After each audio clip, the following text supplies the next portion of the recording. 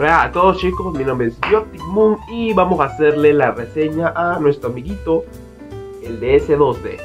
Recuerden el DS2D del pequeño video donde conseguí esta consola por 50 dólares, nuevecita y con palito y de paso también con el cargador. Mi nombre es Biotic Moon y analicemos esta maravilla. La verdad, el DS2D me ha encantado muchísimo en varias cosas, la verdad. Bueno, la es que es muy cool, la verdad. No he gastado, no he llegado ni a los 100 dólares gastando en esta consola en total como está ahorita. Porque compré en eBay un cover así normalito y más la SD 32 GB más el sistema que tuve que pagar para que le hackearan esa cosa. Y la verdad, la consola ha estado muy bien le hemos aquí un hack todo para que funcione, como pueden ver acá. Está impecable. Está impecable. Pero la pregunta del millón es, oye Bioptic, ¿vale la pena comprar un DS2D así baratico en el tianguis o comprarlo así de internet? ¿Vale la pena en 2021 comprarlo? Aquí te voy a dar mi respuesta muy sencilla y es un sí. Te voy a dar mis razones económicas. A darle un dato, nosotros de chicos, nuestros padres nos compraron los DS y de antes. O sea, tenemos el antecesor del DS 2D y el 3D.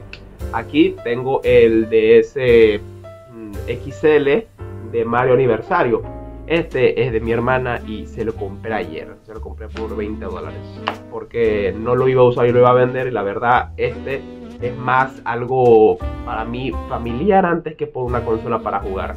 Pero en sí mismo es muy bueno y nos creamos con consolas de Nintendo en la familia. O sea, aquí tenemos el DSiGL, mi hermana acá en la televisión, tenemos pegado aquí el Nintendo Switch al lado del Xbox Series mío.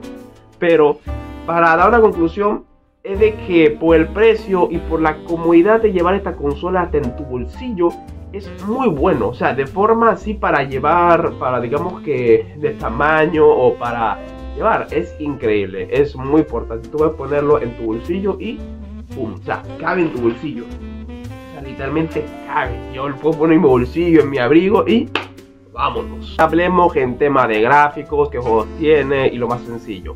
La verdad, si tú compras una consola así baratica para despegar gráficos increíbles y eso, no te esperes tanto. Pero es una consola vieja, pero que en verdad hace buen uso de sus exclusivos. Por aquí podemos ver hasta un port de Metal Gear Solid 3 Snake Eater.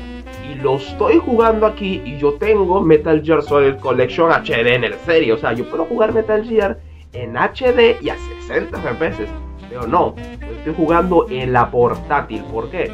Porque literalmente puedo llevarlo al local, puedo llevarlo al metro, puedo llevarlo a cualquier lado y puedo seguir jugando Metal Gear todo fino. Obviamente con los audífonos y cuidado que no me roben, por supuesto. Miren, acá tengo otros juegos que obviamente pirateé, o sea, que la sé, o sea, un juego es una consola ya vieja, esta cosa salió en 2012, ¿qué tú quieres? Yo lo voy a hacer legal. Tenemos, tengo aquí Sony Racing Transform, también tengo Pokémon X, ahí lo estaba pasando un poco. Kingdom Hearts, tengo Yokai Watch 1, aunque hay tres entregas. Fire Emblem, también tengo Super Mario 3D Land, que la verdad es un juegazo si tú pirateas esta consola, juega de una vez este juego. Es increíble, sus gráficos son muy bonitos para hacer una consola así. esta cosita, para correr unos gráficos bien hermosos que son el 3D Land. Es asombroso, la verdad.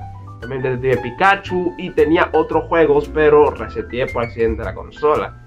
Pero hay un montón de juegos que puedes jugar aquí. Puedes jugar desde Pokémon, puedes jugar desde, desde Fire Emblem, Call of Duty no te recomiendo jugar aquí, es una barbaridad. Este juego, esta consola es increíble para jugar juegos tipo JRPG, para jugar, digamos que exclusivo de Nintendo, como Mario Golf, Mario, Mario en general, mucho más. También Sonic, Sonic Lost World, Sonic Racing.